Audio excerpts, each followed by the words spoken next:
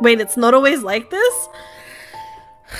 No. My, my, my chat can attest to it never being like this. I feel like a lot of the time we're just being a gremlin, right?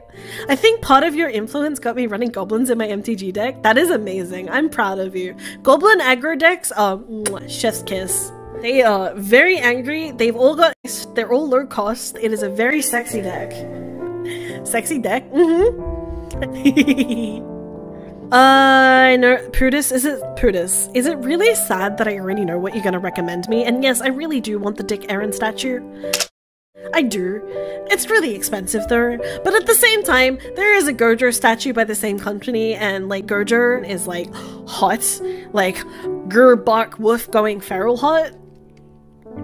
No, not that. I'm embarrassed. No, wait, wait. Wait, wait, no, no. Prudence, Prudence, pretend. I didn't say it. I didn't say it. Everyone just pretend. Everyone just pretend I didn't say it. My brain was totally not in the gutter there, I swear. No, Prudence, please, buddy pal.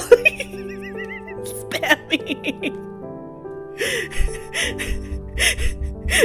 what have I done? I've outed myself. There's the chaos.